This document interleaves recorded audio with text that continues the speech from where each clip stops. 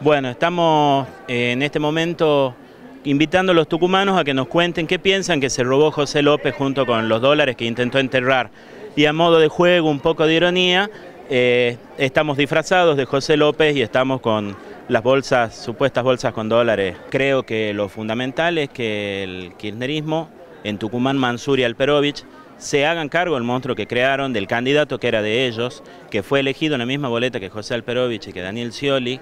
y que le digan de una vez por todas a los tucumanos que los 11 puentes caídos tienen que ver con esos 9 millones de dólares, que las escuelas que están sin terminar tienen que ver con esos millones de dólares, que los hospitales que no tienen insumos tienen eh, que ver con estos millones de dólares. Algún dato que nos pasó algún amigo economista nos indica que lo que se robó José López, por ejemplo, es el funcionamiento anual completo del Hospital del Este, es el funcionamiento anual completo de la Secretaría de Niñez, Adolescencia y Familia de la provincia. Son 12.000 asignaciones universales por hijo para un año completo. La verdad que agradecemos a todos los tucumanos que se acercaron, están pidiendo que de una vez por todas haya decencia y transparencia en la función pública y que algunos funcionarios que vienen hace más de 12 años dejen de hacerse millonarios con el dinero que es de todos.